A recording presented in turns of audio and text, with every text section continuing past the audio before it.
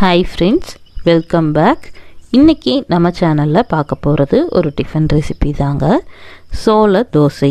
இந்த சோள தோசை எப்படி செய்கிறதுன்னு பார்க்குறதுக்கு முன்னாடி நீங்கள் நம்ம சேனல் இன்னும் சப்ஸ்கிரைப் பண்ணலான்னா கீழே இருக்கிற சப்ஸ்கிரைப் பட்டன் கிளிக் பண்ணிக்கோங்க. பக்கத்தில் இருக்கிற பெல் ஐக்கான் கிளிக் பண்ணி ஆல்ங்கிற ஆப்ஷன் செலக்ட் பண்ணிக்கோங்க. ஸோ நான் போடுற வீடியோஸ் உங்களுக்கு நோட்டிஃபிகேஷனாக வரும். இப்போ வாங்க இந்த சோள தோசை எப்படி செய்கிறதுன்னு பார்க்கலாம். இது செய்யறதுக்கு நான் இன்னைக்கு ஒரு படி அளவுக்கு சோளம் எடுத்திருக்கேன். அதாவது நாலு கப் எடுத்திருக்கேன். வெள்ளை சோளம் தான் எடுத்திருக்கேன். உங்களுக்கு எந்த சோளம் கிடைக்குதோ நீங்கள் அதை எடுத்து யூஸ் பண்ணிக்கலாம்.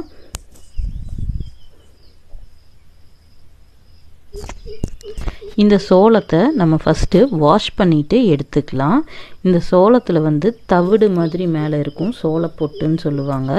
இதை வந்து நம்ம இப்போ ரிமூவ் பண்ணணும். அதுக்காக இந்த சோளத்தை ஒரு கல்லில் போட்டு நல்லா குத்தி எடுத்துக்கலாம். இந்த மாதிரி குத்துனீங்க அப்படின்னா அதில் இருக்கிற அந்த தவிடு தனியாக வந்துடும்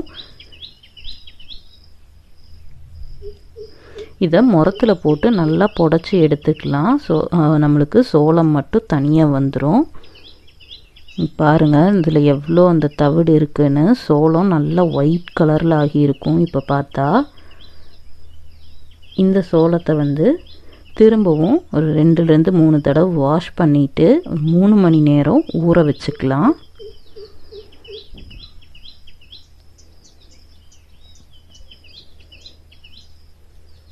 இதையே நல்லா ஊற வச்சிடலாம் இப்போது உளுந்து ஊற வச்சுக்கலாம். ஒரு கப் ரைஸுக்கு நம்ம கால் கப் உளுந்து ஆட் பண்ணுவோம். அதே மாதிரி ஒரு கப் சோளத்துக்கு கால் கப் உளுந்து ஆட் பண்ணிட்டா போதும்.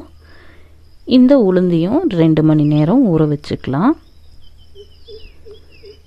இது ரெண்டும் நல்லா ஊறுனதுக்கப்புறமா இதை வந்து நல்லா வாஷ் பண்ணிவிட்டு நம்ம கிரைண்டரில் போட்டு அரைச்சி எடுத்துக்கலாம். உளுந்து தனியாக சோளம் தனியாக அரைச்சி எடுத்துக்கோங்க. மிக்சியில் வேணாலும் அரைச்சி எடுத்துக்கலாம். சோளம் வந்து ரொம்ப நைஸாக அரைக்காது. கொஞ்சம் குறை குறைப்பாக தான் இருக்கும்.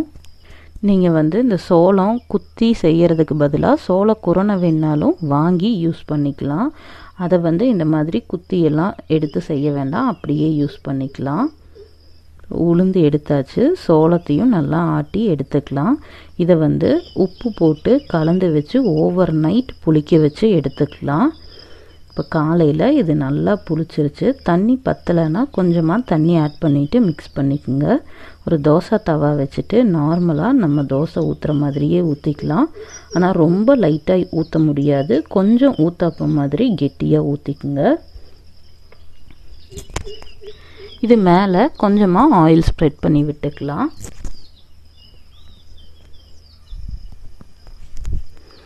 இது ஒரு சைடு வெந்ததுக்கு அப்புறமா இன்னொரு சைடு திருப்பி போட்டுக்கலாம்.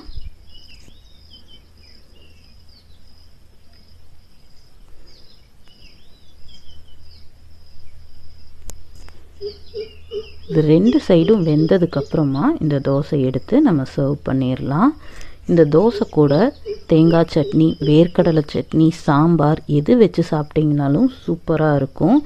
இது ரொம்பவே ஹெல்த்தியான ரெசிபி. இந்த ரெசிபி வந்து வெயிட் லாஸ் பண்ணணும்னு நினைக்கிறவங்க கண்டிப்பாக யூஸ் பண்ணிக்கலாம். இந்த ரெசிப்பியை நீங்களும் ட்ரை பண்ணி பாருங்கள் ரெசிபி பிடிச்சிருந்துச்சுன்னா வீடியோவை லைக் பண்ணுங்கள் ஷேர் பண்ணுங்கள் கமெண்ட் பண்ணுங்கள் புதுசாக பார்க்குறவங்க சப்ஸ்கிரைப் பண்ண மறந்துடாதீங்க தேங்க்யூ